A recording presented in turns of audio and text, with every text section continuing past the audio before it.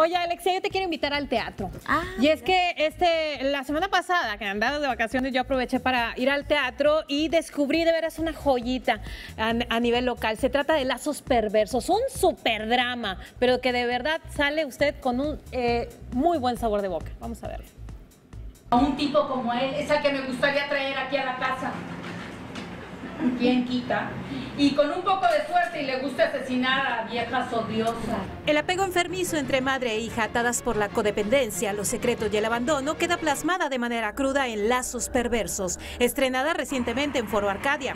El trabajo magistral de las actrices Maristel Garza, quien interpreta a una castrante madre, frente a Dulce María Arenzana como Marta, su hija, transportan al espectador a las afueras de un pueblo en la frontera, encerradas en un humilde cuarto, olvidadas de todo.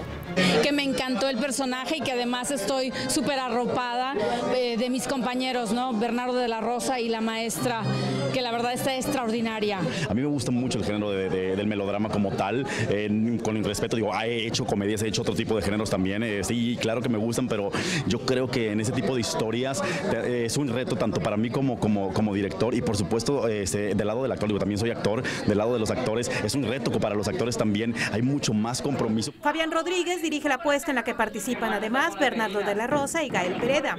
Hace cerca de una década la obra fue seleccionada para el homenaje a Delia Garda con la participación de Lupita Treviño, quien quedó sorprendida por el trabajo en escena. En el Teatro de la Ciudad fue por el homenaje que se le hizo a Delia Garda por toda su carrera artística. Eh, se lo hizo con arte. Pero hoy que la volví a vivir y como espectadora ha sido impactante tanto de aquel lado como de este, pero me encantaron las actuaciones, las mujeres están esplendorosas.